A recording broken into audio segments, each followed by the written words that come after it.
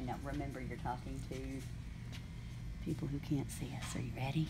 Okay. Okay, go ahead. Okay, first thing you do is find the flattened side of the pin. See how that one's flatter? That one's not. Mm-hmm.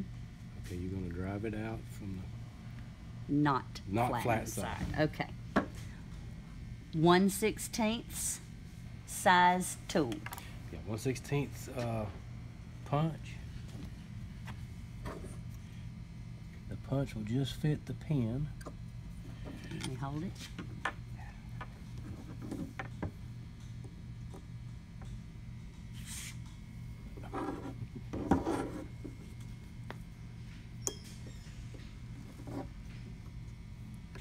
Tap. Tap the pin. What can I hold?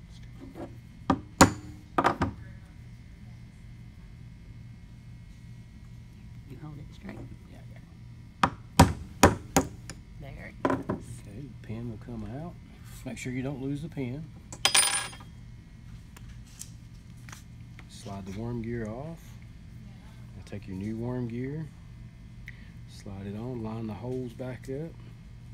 You can use your pin, your punch pin, to line the hole up. Once your pin goes through, take your roll pin, Take the smallest end.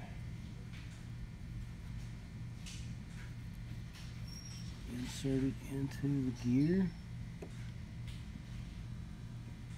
Check, make sure we're still lined up. We are.